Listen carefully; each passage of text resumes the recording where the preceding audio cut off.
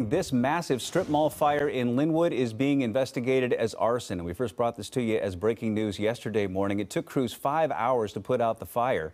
That firefight forced crews to shut down Highway 99. The Snohomish County Fires Marshal's office determined that the fire at a business on 156th and Highway 99 was intentionally set, and so they're now leading the investigation. If you have any information about what may have happened there, call the police.